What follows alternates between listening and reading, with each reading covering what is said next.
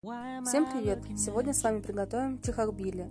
Для приготовления нам понадобится курица, красный перец острый, кинза, базилик, лук, соль, сахар, чеснок, хмель и сунели, масло подсолнечное и помидоры. Помидоры с томатом. Для начала мы с вами обжариваем курицу. Масло по минимуму. Далее добавляем нарезанный лук, и острый перец.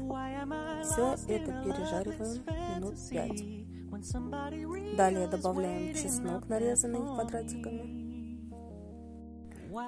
Жарим и добавляем хмель сунели. Далее курицу добавляем воды и томат с помидором. Тушим.